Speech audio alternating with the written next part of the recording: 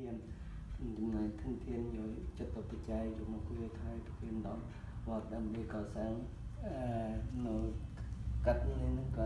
សម្បត្តិមកផលកុសលទៅដោយប្រធានយ៉ាងណាយ៉ាងណាក៏សូមឲ្យសម្រេចដោយក្តីកំណងបងប្រធានជាប្រសិទ្ធសម្រេចទៅដល់ពុទ្ធពលទាំងឡាយ5ប្រការគឺអាយុវណ្ណៈសុខៈបណ្ដានឹងបនិព្វាននៅកំបីគ្លៀងគ្លៀតឡើយ អមអាយុវត្តកោធនវត្តកោសេរវត្តកោយសវត្តកោពលវំ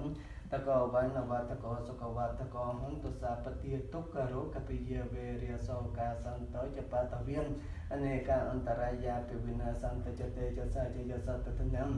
វាផនសន្តិភិយ៉ាងសុខំបលានសេរីអាយុចវណ្ណំយពោកੰវត្ថិចយសវាសសវាសាចអាយុចជីវសទ្ធិភវន្តោតេសា ធុសាធុសាធុ